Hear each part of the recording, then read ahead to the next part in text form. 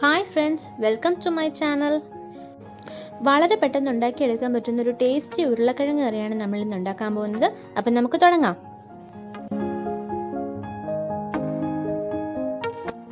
Easy ആയിട്ട് ഉരുളക്കിഴങ്ങ് കറി ഉണ്ടാക്കാൻ വേണ്ടിയിട്ട് ഞാനിപ്പോൾ ആദ്യം കുറച്ച് ഉരുളക്കിഴങ്ങ് എടുത്ത് വെച്ചിട്ടുണ്ട്. ഒരു സവാള ചെറുതായിട്ട് അരിഞ്ഞു വെച്ചിട്ടുണ്ട്.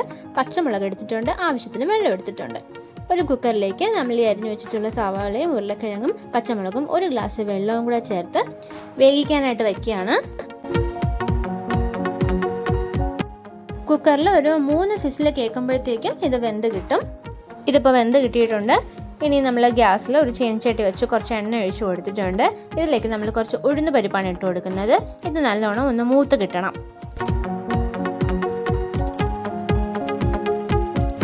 നല്ലോണം മൂത്തിട്ടുണ്ട്. ഇതിലേക്ക് നമ്മൾ കുറച്ച് കറിവേപ്പിലയും മുളകും കൂടെ ചേർത്ത് കൊടുക്കുന്നുണ്ട്. വറ്റൽമുളകും കൂടെ ചേർത്ത് കൊടുക്കുന്നുണ്ട്.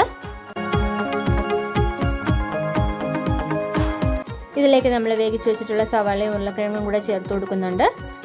നല്ലോണം ഇളക്കി കൊടുക്കുക. ഇത് നല്ലോണം കുഴച്ചെടുക്കണമെന്നുണ്ടെങ്കിൽ അങ്ങനെ എടുക്കാം. അതല്ല ഇങ്ങനെ തന്നെ കിടക്കണമെങ്കിൽ അങ്ങനെയും ചെയ്യാം. ഞാൻ ഇതിലേക്ക് കുറച്ച് ഗരം മസാലയും മഞ്ഞൾപ്പൊടിയും ആവശ്യത്തിന് ഉപ്പും ചേർത്ത് കൊടുക്കുന്നുണ്ട്. നല്ലോണം ഇളക്കി കൊടുക്കണം.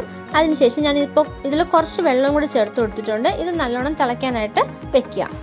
നല്ലോണം തിളച്ച് വരുമ്പോഴത്തേക്കും നമ്മൾ ഇതിലേക്ക് തേങ്ങാപ്പാലാണ് ചേർത്ത് കൊടുക്കുന്നത്. നല്ല കട്ടിപ്പാൽ എടുക്കണം